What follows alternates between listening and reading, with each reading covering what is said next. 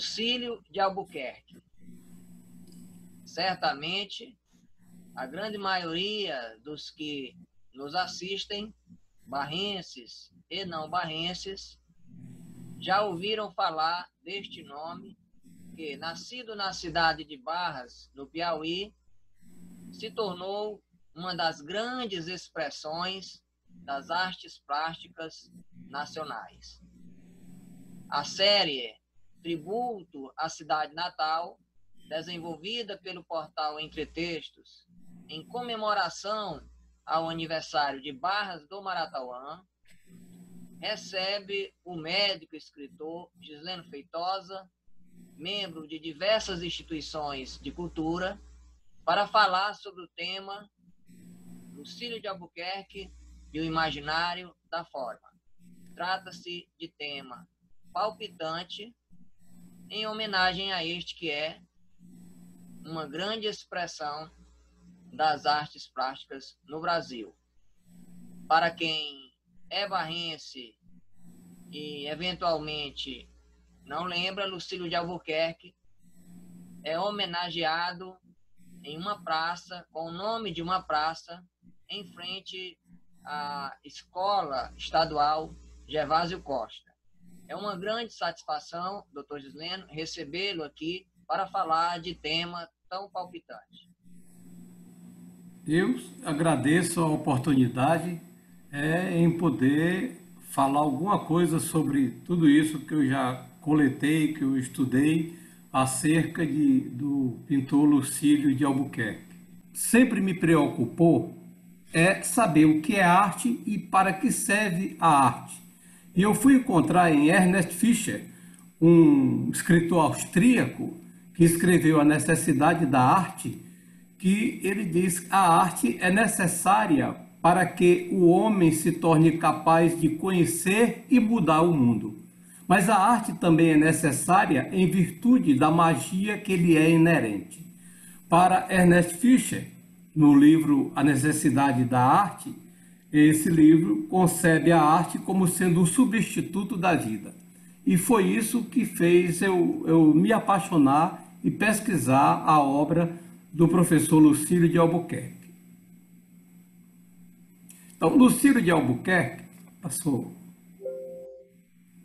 Lucílio de Albuquerque é, foi considerado o poeta da forma pelo piauiense também, é, Júlio Romão da Silva, em 1941. Júlio Romão é um piauiense que é, cedo se mudou para o Rio de Janeiro. Lá foi muito conhecido como jornalista, escritor, é, foi considerado cidadão do Rio, recebeu o nome de uma rua no Mé e ele, em 1941, na revista da Semana, é, publicou esse artigo que é, considera Lucílio de Albuquerque o poeta da forma. Júlio Romão, aqui em Teresina, recebeu também o título doutor honoris causa e faleceu com 95 anos e ele é membro, foi membro da Academia Piauiense de Letras. Próximo. Então, Lucílio de Albuquerque foi um pintor, desenhista, vitralista e professor. Ele nasceu em 9 de maio de 1877, na vila de Barras do Maratuã, atual município de Barras, no Piauí. É, fi, era filho do desembargador Alcebiades Dracon de Albuquerque Lima e de Dona Filomena Canuto de Figueiredo e Albuquerque Lima. O doutor Alcebiades nasceu em 12 de agosto de 1838 em Aracati, no Ceará. Muitos é, historiadores dizem que ele nasceu no Recife porque a família é tradicional lá do Recife, mas é, esse, essas referências mostram que ele nasceu em Aracati, no Ceará, e faleceu em 14 de janeiro de 1914 em São Paulo. Em 58, ele bacharelou-se em Direito no Recife. Foi promotor público e juiz municipal em Mossoró de 65 a 1874 e nesse ano foi nomeado juiz de direito para a comarca de Barras do Maratuã, onde residiu até 1883, ou seja, lá residiu durante nove anos. Depois desse período, ele retornou, é, foi juiz de direito em Mossoró, retornou para o Rio Grande do Norte e em 1891 foi transferido para a comarca de Natal. Em seguida, foi desembargador da Relação de Goiás, cargo em que foi aposentado. O casal teve dez filhos e Lucílio de Albuquerque foi o terceiro deles. Próximo. Iniciou, o Lucílio iniciou seus estudos visando seguir a carreira profissional paterna, que era do, do direito, é, em Recife.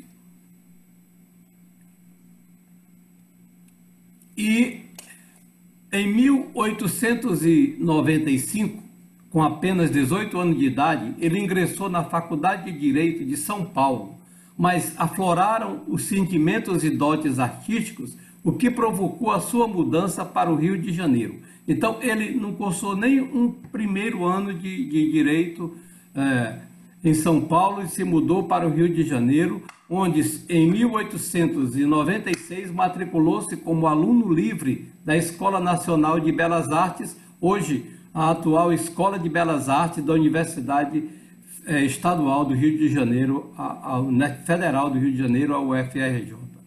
De 1920, 1901 a 1906, ele, em 1901, matriculou-se no curso regular da Escola Nacional de Belas Artes e teve aulas com Rodolfo Moedo, com Zeferino da Costa e Henrique Bernadelli.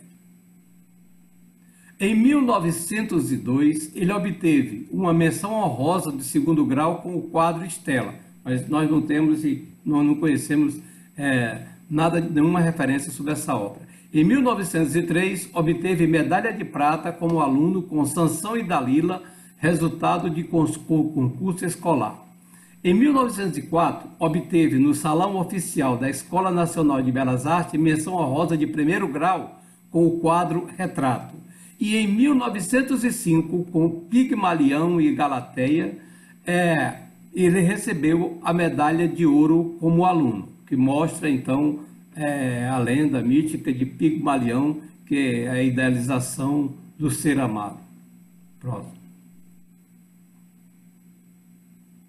Em 1906, Lucílio ganhou o prêmio de viagem ao exterior no Salão Nacional de Belas Artes com o quadro Anchieta escrevendo o poema A Virgem, obra de inspiração religiosa e mística. No dia 31 de março de 1906, com 29 anos de idade, ele casou-se com a sua colega de academia, a pintora Georgina de Moura Andrade Albuquerque, é, natural de Taubaté, do Rio de Janeiro. E no dia seguinte, eles viajaram para a França, onde ficaram estudando por um período de cinco anos. Aqui, então, Lucídio é, com, a, é, com a esposa e aqui quando ele recebeu o prêmio e já no seu apartamento em Paris.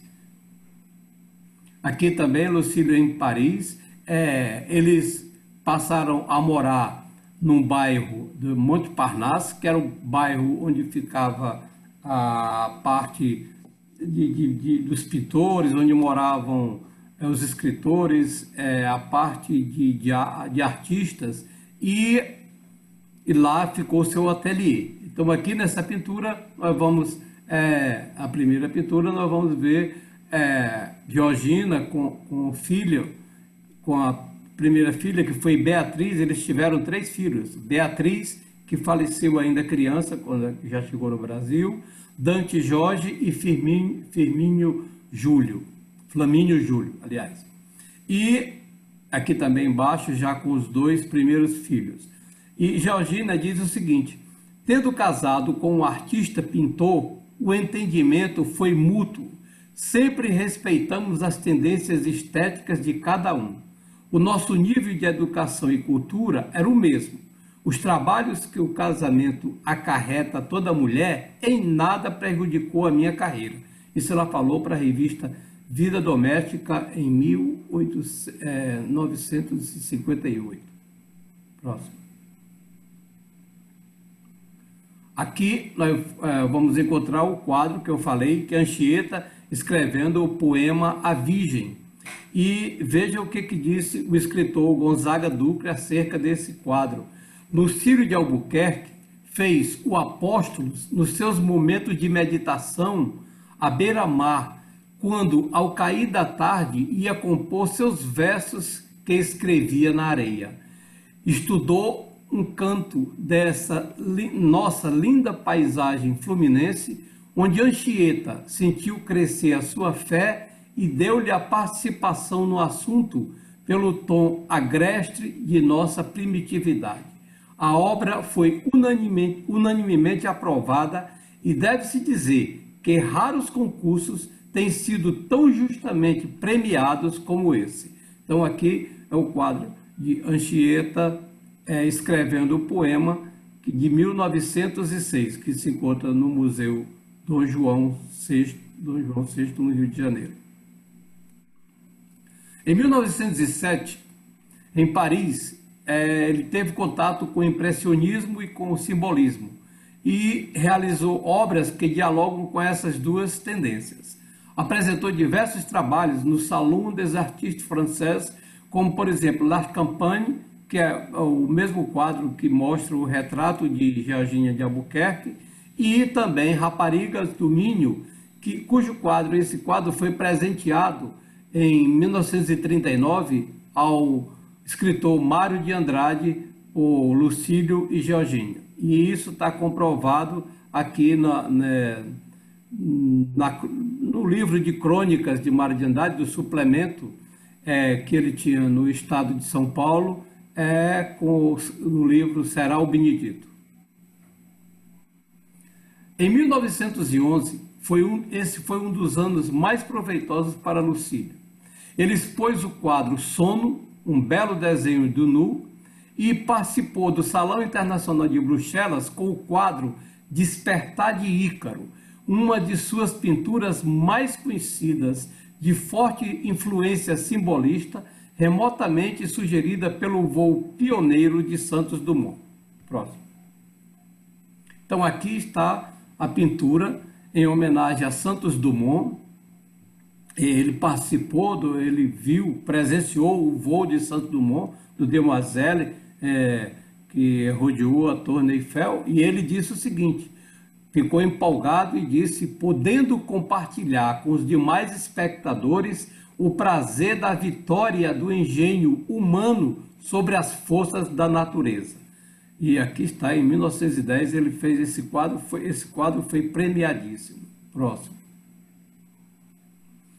a, a, a professora de, de história é, de história e da pintura é, é, Luciene Lem, Lemco ela publicou um artigo em que ela diz um voo sobre a modernidade o título um voo sobre a modernidade a homenagem de Lucílio de Albuquerque a Santos Dumont. A pintura Despertar de Ícaro de Lucílio de Albuquerque é lida nesse trabalho como uma exaltação ao moderno.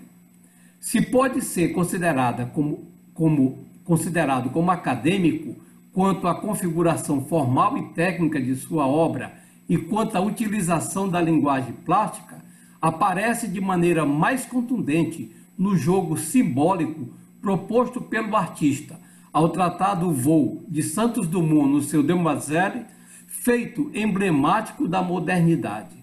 Assim, essa comunicação propôs abordar a relação entre história e artes plásticas, especialmente a pintura no seu aspecto simultâneo de objeto de estudo e de fonte documental.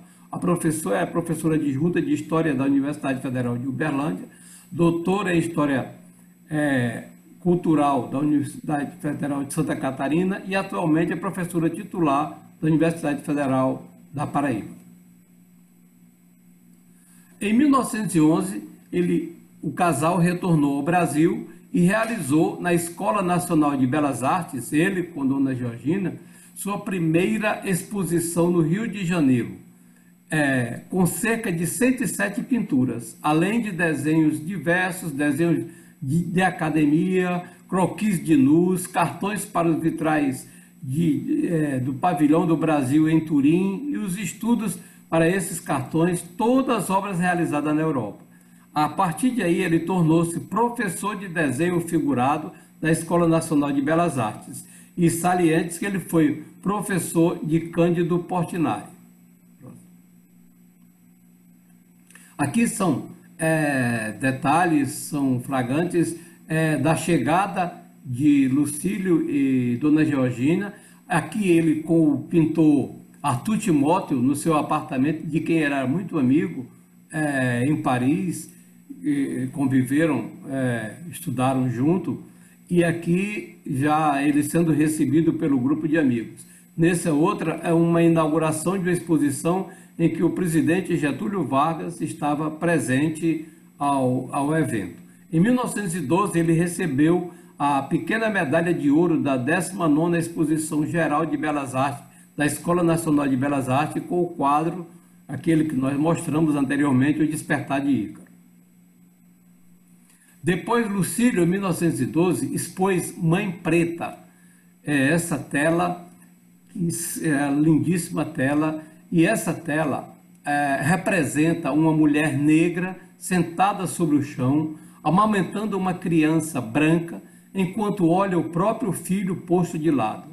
Há docilidade e ternura na cena, criando no espectador uma ligação afetiva com a mãe que amamenta, internalizando, contudo, um silencioso mal-estar.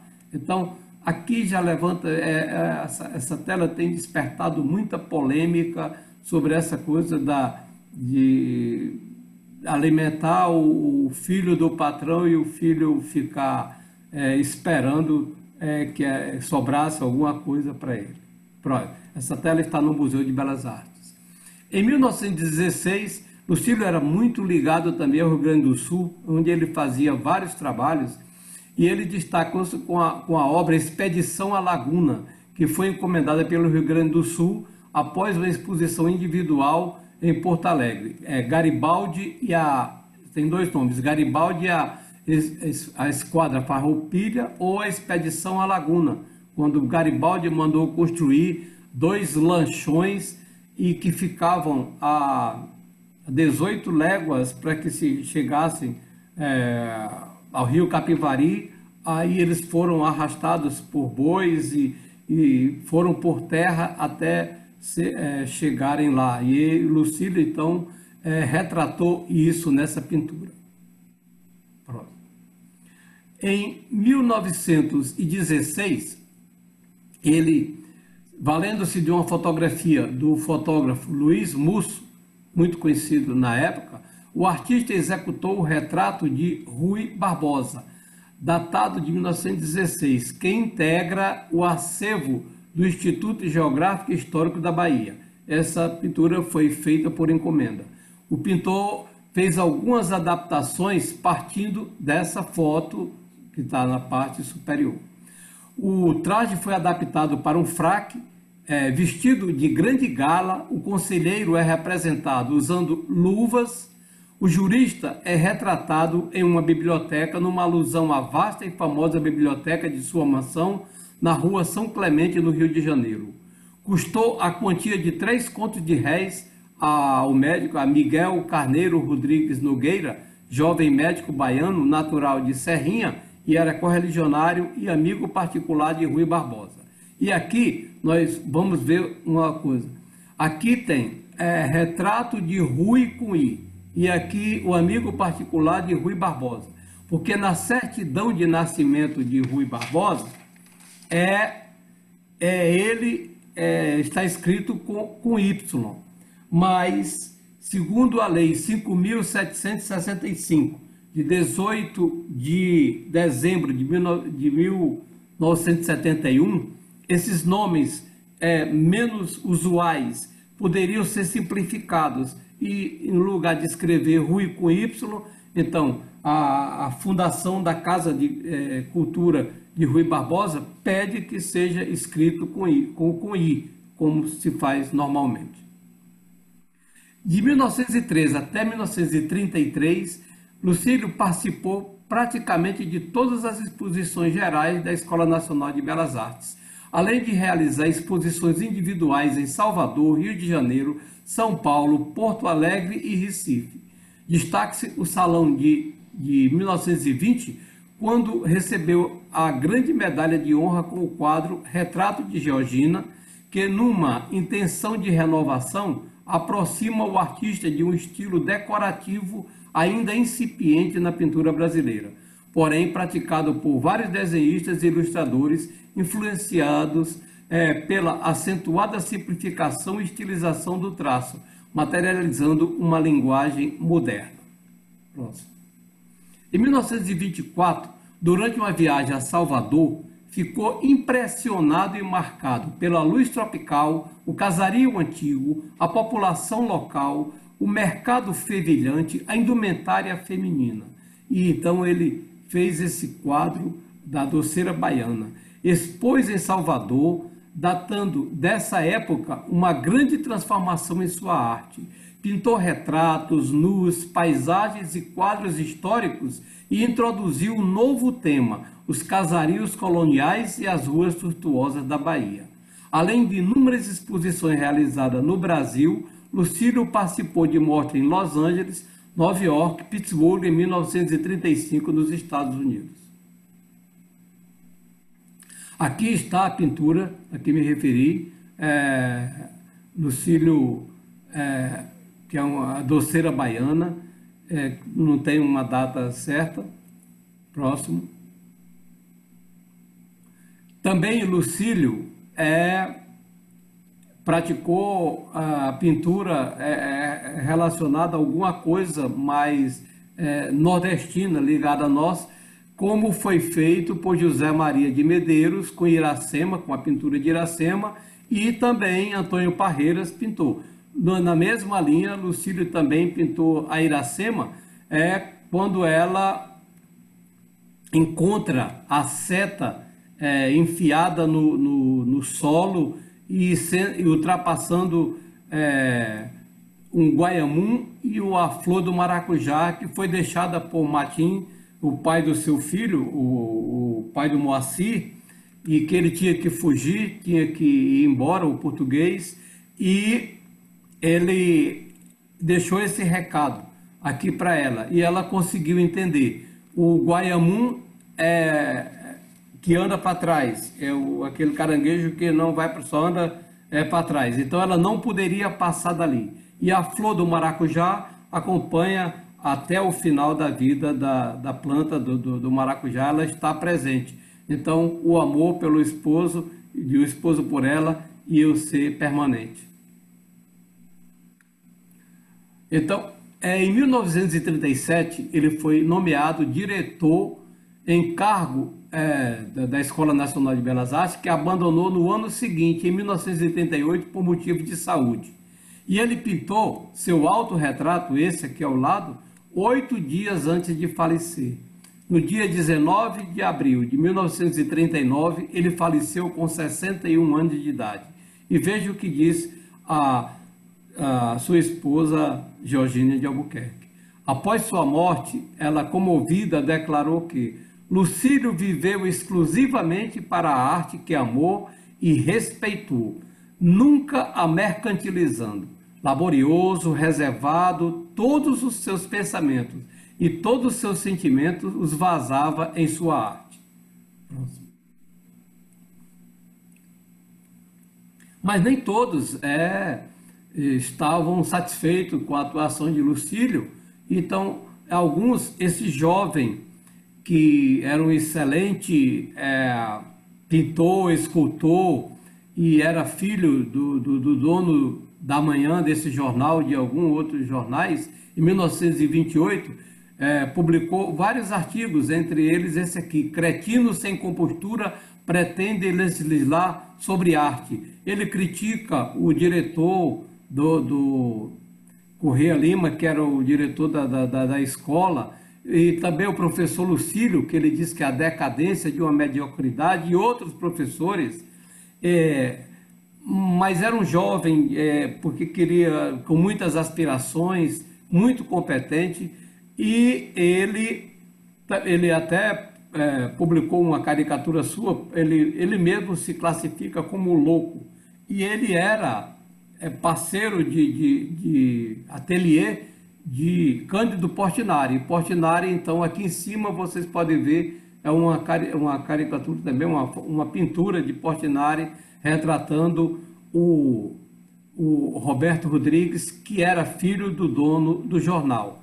E era também, esse rapaz foi morto no ano seguinte é, é, por uma jornalista que não gostou de uma, de, de, de uma charge que foi colocada, de uma ilustração que foi colocada no jornal, foi, tento, é, foi lá para tomar satisfação com o pai dele, o pai não estava e ela terminou assassinando o, o rapaz, dando três tiros e ele, pouco dia depois, chegou a falecer. E esse rapaz é irmão de, do Nelson Rodrigues, que presenciou esse fato lá.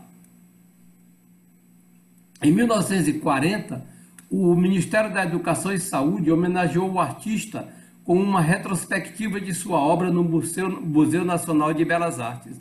A exposição apresentou cerca de 400 trabalhos, entre grandes composições históricas dele, toda essa parte é, foi representada lá. Próximo. Pode passar o próximo. Aqui então estavam representados o efeito do sol, o Sena, é, são várias pinturas que ele, que ele havia trazido também e que estavam com ele, foi representado nessa exposição. Próximo. Também Lucília apresentou vários nus, é, fez vários retratos de nus. Próximo. E após, em 1943, após sua morte, Georgina organizou na residência do, do casal, em Laranjeiras, o Museu Lucílio de Albuquerque. Ela passou a viver exclusivamente para esse museu e aqui os jornais publicavam: o artista sobrevive. Ele ele ficou sobrevivendo é, ainda é, às custas é, do trabalho dela nesse museu. Próximo. Mas, é, é, onde ela botava, em 1900, é, esse daqui, 1950, Georgina e o Templo da Arte, onde revive seu amor. Aqui ela, ela ensinava crianças, ela dava aula para crianças, ela vivia inteiramente para esse museu. Próximo. Mas como tudo que é de arte, então, é, conservação do Museu de Lucílio de Albuquerque encontra-se em vias de ser demolido, o que constituirá, sem dúvida, um lamentável descaso de nossas autoridades. Então começou a, a decadência, começou a, a, aparecer contas, não poder manter o, o, museu. Próximo. Então, no dia 29 de dezembro de 54, o acervo do museu foi vendido integralmente à então Prefeitura do Distrito Federal do Rio de Janeiro e distribuído entre várias instituições e residências governamentais. A maior parte dessa obra compõe o acervo do Museu de Ingá, Museu da Memória e Arte do Estado do Rio de Janeiro em Niterói. Então aqui está o termo do contrato é, que foi feito entre a Prefeitura e a senhora Georgina de Albuquerque. Próximo.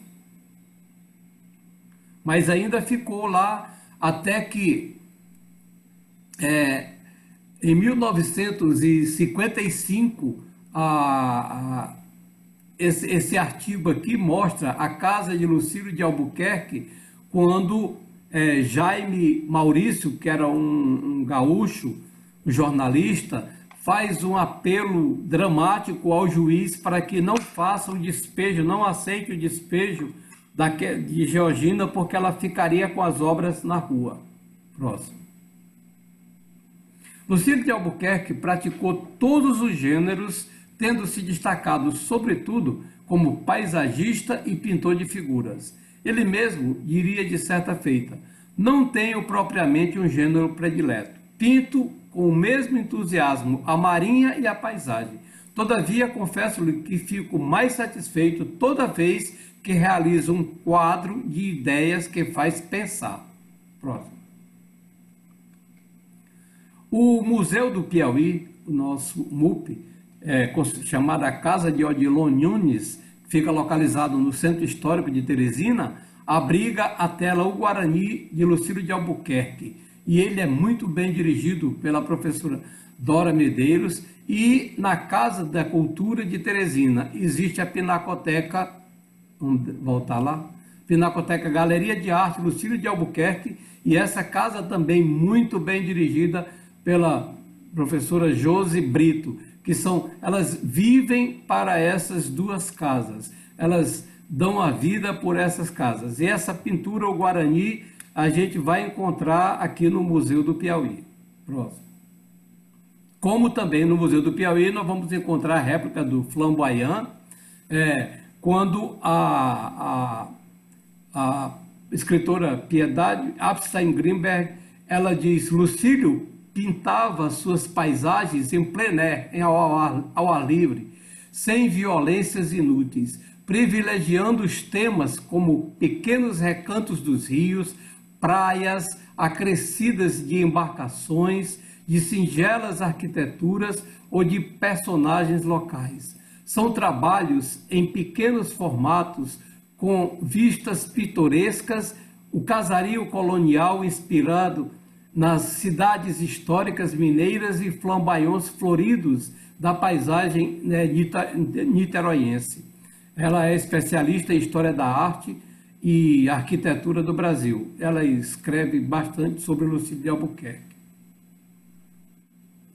Aqui também na Casa da Cultura, nós vamos, é, aliás, no, no, Museu do Piauí, no MUP, nós vamos encontrar uma réplica também do Paraíso Restituído, de 1911, e lá nós vamos encontrar é, esse detalhe.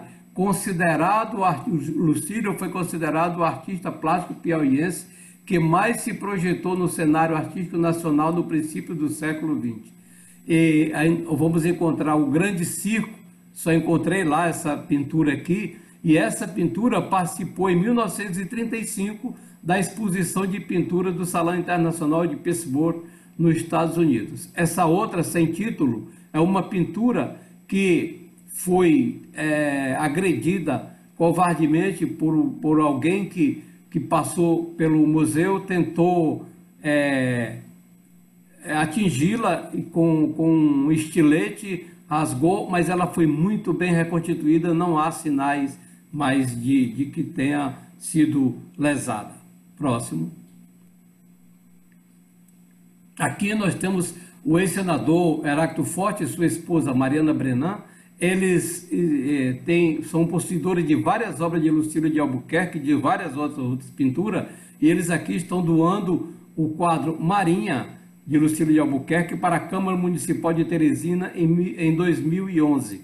E essa outra paisagem também de Lucílio para o Palácio de, de Karnak, que é o Palácio do Governo, em 2014. Próximo. É, como é, são obras importantes, então são, são, elas chamam a atenção e são roubadas. Então aqui em, do, em 2007 é, criminosos é, levaram bastante peças, é, e entre elas é, é, pinturas de Lucílio de Albuquerque, lá no Rio de Janeiro, e aqui no Piauí, uma tela de Lucílio de Albuquerque foi roubada da Prefeitura de Barras em 2011. Próximo. E aqui está a praça que o professor Gilson falou, que é a Praça Lucílio de Albuquerque, que foi construída em 1979 e embelezando a frente da unidade escolar Gervásio Costa, e na mesma praça fica a nossa Academia de Letras do Vale do Longar, e a cadeira número 24, é, que tem é, ocupada pelo nosso é, confrade Frederico Antônio Rebelo Torres, é, tem como patrono o professor Lucílio de Albuquerque. E finalizando as minhas homenagens, a professora Josefina Gonçalves, que é um entusiasta, uma, a nossa uma das maiores é, figuras é, da pintura. É, o seu pai, o professor Wilson Gonçalves, é, tudo que se quer pesquisar sobre Lucílio de Albuquerque, a gente vai encontrar aqui, porque ele tem, uma, tem muitos trabalhos sobre Lucílio de Albuquerque. Também é um membro da Academia Piauiense de Letras aqui o seu filho é, de, de Josefina e aqui um trabalho dela, Luz e Paisagens, que dão vida ao trabalho de Josefina Gonçalves. E aqui o professor João Lucílio de Albuquerque, que é um entusiasta é, pela Mata Atlântica, ele trabalha com a reserva da biosfera da Mata Atlântica e é neto do, de, do professor Lucílio de Albuquerque, a quem eu presto as minhas homenagens. Ao Wilson Gonçalves, a Josefina, ao, a sua mãe, Maria Augusta, seu filho e ao professor João, uh, João Lucílio de Albuquerque. Pronto. Finalmente, é, o que, que disse Lucílio? É, por ocasião da missão de intercâmbio artístico em Buenos Aires em 1921. Nada mais aproxima os povos que a arte. Poder-se-ia mesmo afirmar, sem exagero, que onde a arte termina, começa a desarmonia. Muito obrigado.